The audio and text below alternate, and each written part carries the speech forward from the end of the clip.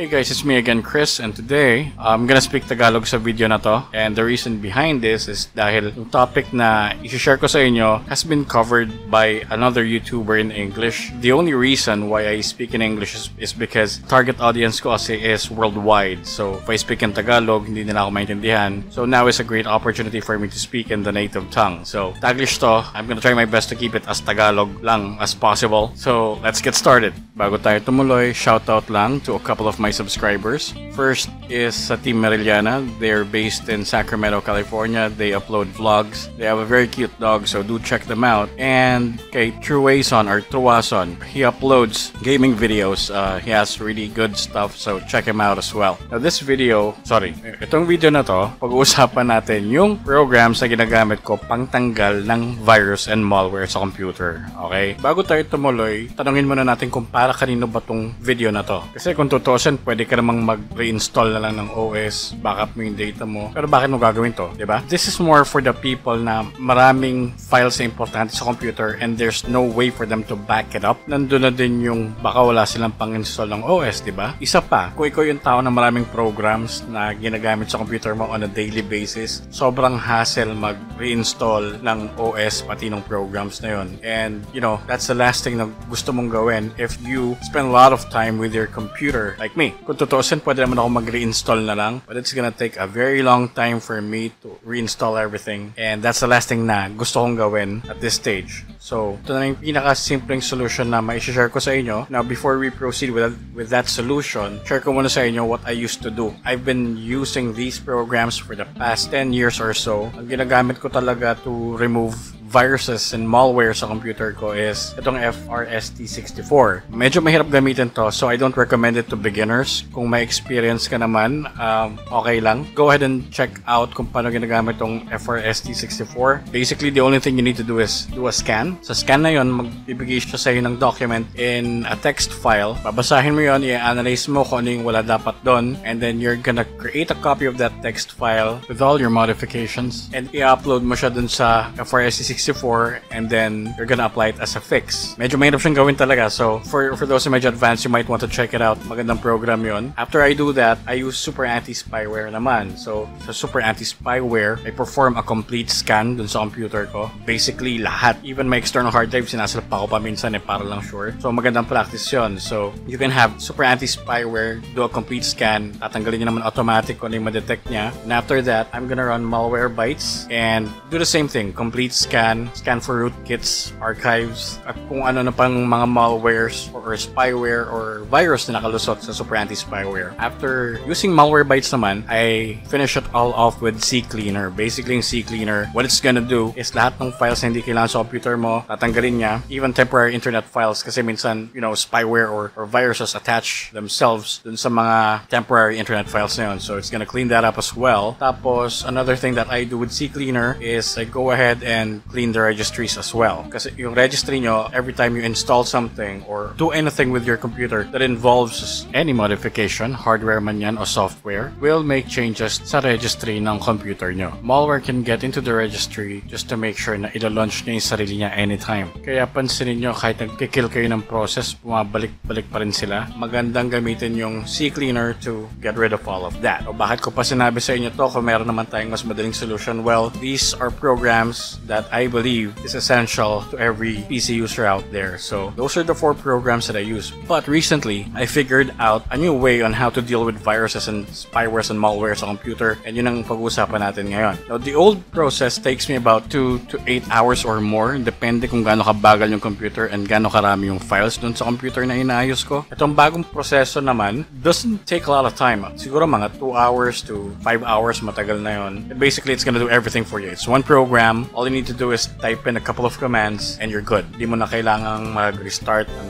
paulit-ulit, manually, gaya ng lumang procedure ko. In this case, this program will do everything for you. Now, the name of this amazing program is Tron. And ang good news dito eh, libre to. You don't have to pay for anything. You just download it and run it. And yun na, siya nang bahala sa mga virus, malware, spyware na nasa computer mo ngayon. So, here's the description. I leave a link to the description box below kung saan nyo siya mada-download. And I'll show you you how to launch it. Kung na siya iraran sa computer ko kasi kakaran ko lang, it doesn't make any sense to do it. Ngayon, kailan nyo dapat to gamitin?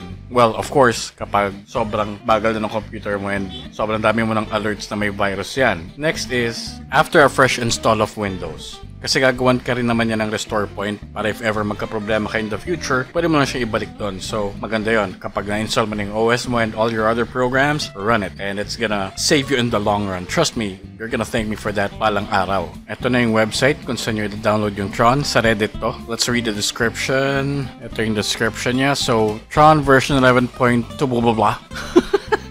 Okay, so basahin na na lang. It's a bit of a tongue twister, I'm sorry. So, ito yung background niya. It says fights for the user. Sounds really nice, right? So, ito. Uh, description. It aims to automate 87% of the tedious work in getting a badly running Windows system back on its feet. Okay, so the only thing you need to do is click next in AV scan Windows, etc. Well, that's true. Yun lang talagang gagawin mo. Let me show you how to download it first. So either you do it via torrent or one of these links. You just click on it like so. Kapag na-click mo na siya, you just click on this one. And it's going to download it for you. It's gonna open this box asking you what you want to do with it. Okay, so just save it. I'll show you guys how to run it in a bit. Now again, sinabi naman niya sa description niya na 87% yung automated. The only thing that you need to do really is magta-type ka lang mamaya ng I agree, hit enter. And during the whole process kasi hihinto yan kasi one of the programs na integrated dun sa Tron is Malwarebytes. All you need to do is click on scan to have Malwarebytes to do a scan sa computer mo and the rest is going to be executed nung program na Tron mismo. So that's it. Ngayon ipapakita ko sa inyo kung paano nyo iraran yung Tron. Ngayon, kapag na-download nyo na siya, this is what it looks like. Double click nyo lang yung icon na yan, it's gonna open a command prompt. Tapos i-unpack nyo na lahat ng laman ng package na yon. So I suggest you do this sa desktop ng PC nyo para di kayo mahirapan maghanap. Now, magkakaroon ng dalawang folder sa desktop nyo. Isang integrity verification, tapos isang Tron. The only thing that you need to worry about is yung Tron folder. Sa loob ng Tron folder, ilalabas nyo lang sa desktop itong dalawang files na to.